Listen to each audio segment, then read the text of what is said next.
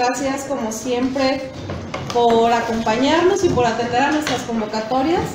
Esta mañana estamos contentos de tener aquí en Colima al director general del INAES, Juan Manuel Martínez, que nos acompaña para hacer un recorrido aquí en el estado y promover la importancia de la economía social y de esta nueva visión que el trae planteada en este gobierno que cabeza nuestro presidente Andrés Manuel López Obrador. Agradezco a quienes nos acompañan, al diputado Vladimir Parra, que es coordinador de la bancada Morena en el Congreso del Estado, a la diputada Olivia Rodríguez, presidenta del Congreso, de la mesa directiva del Congreso local, a nuestros delegados regionales, Julio León Trujillo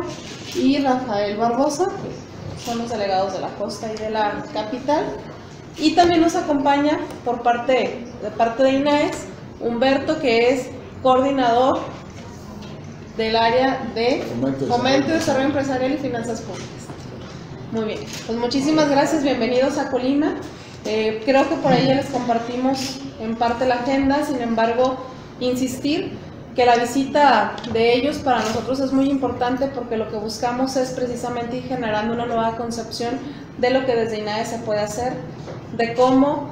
desde el sector rural podemos mejorar la calidad de vida de los colimenses en función de ir cambiando nuestra visión, nuestra visión hacia generar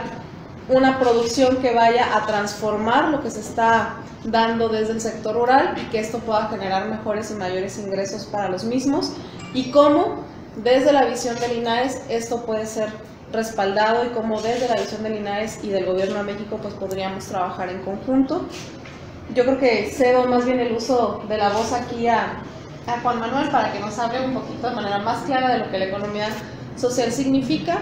y al final si hay alguna pregunta, alguna sugerencia o si alguno de los diputados quiere hacer uso de la voz, pues también la hacemos con mucho gusto. Muchísimas gracias.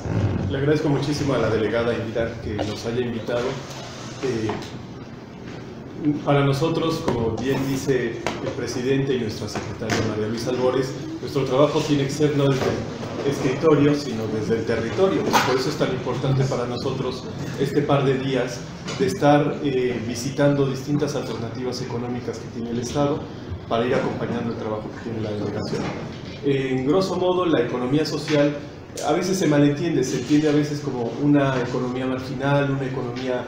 chiquitita de los pobres, pero no es verdad, es cuando menos la tercera economía del planeta.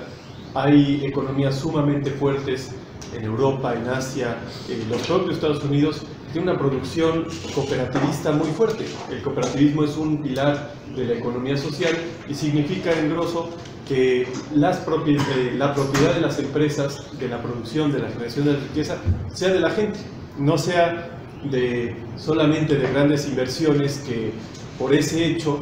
eh, adjudican legalmente y moralmente también que pues ellos deben de decidir qué hacer con las ganancias y qué hacer con el futuro de la empresa. El enfoque que tiene la economía social justamente va en la dirección de que sean las personas que aportan su trabajo los decisores de esas, de esas grandes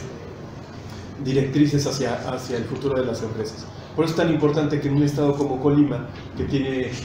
muchas características, muchísima riqueza, podamos trabajar especialmente con los jóvenes en la generación de empresas que sean de propiedad de los jóvenes y ellos vayan tomando sus decisiones, se puedan arraigar en el territorio y con eso podamos construir a lo que es un anhelo creo de todos, eh, restituir el tejido social que desgraciadamente en nuestro país se ha desgastado eh, muy fuerte y las evidencias sobre la violencia y la delincuencia pues creo que nos quedan claras a todos. Eh, como dice bien el presidente, tenemos que trabajar en el tema del combate a la delincuencia desde la raíz, combatir las causas y las causas tienen que ver en la mala distribución de la riqueza. Pues bueno, la economía social lo que intenta hacer es distribuir esa riqueza desde el momento en que se produce. Y esos son los mecanismos que queremos impulsar en todo el país, pero especialmente en Colima, y adelantándome pues un poco aprovechando la gran riqueza que tiene el Estado en términos de turismo, en términos de su gente, en términos de la combinación de ecosistemas que tienen hacia el litoral y también hacia la sierra, hacia el, nevado. Todo eso seguramente que lo podremos aprovechar para que los jóvenes puedan estar arraigados y podamos tener eh, mucho mejores condiciones en el corto plazo. Muchas gracias. No sé si quieres. Ya vamos.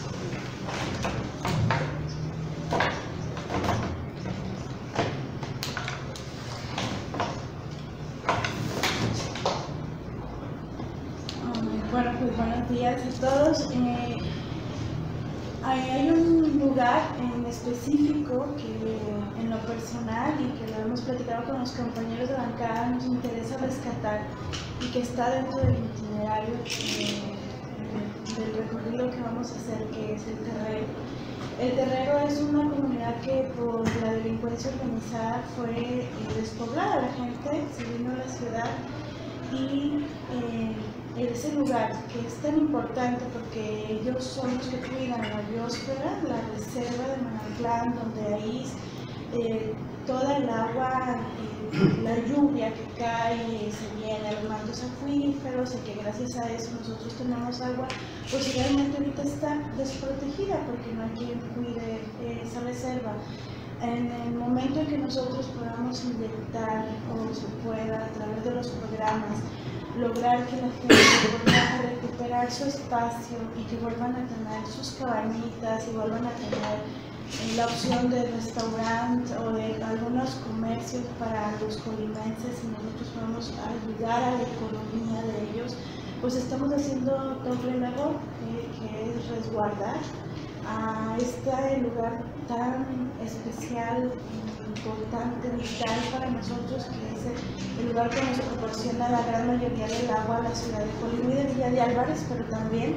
pues estamos ayudando a generar la economía. Entonces, a mí me da mucho gusto eh, que la presencia del titular,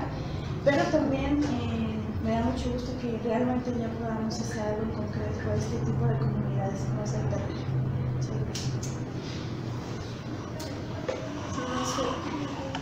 No sé si alguien tenga alguna pregunta. Sí. Eh, ¿Qué fondo hay para Colima, en este caso,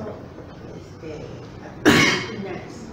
Bueno, no hay una cifra determinada. Nosotros trabajamos con convocatorias generales para todo el país, pero justamente lo que queremos en esta, eh, en esta transformación que tiene el instituto es que podamos tener alianzas con actores locales eh, por eso es tan importante que los diputados estén acá, la delegada, para que entonces se puedan ir eh, conformando proyectos realmente de impacto, para que entonces las inversiones puedan ser ya, eh, pues digamos,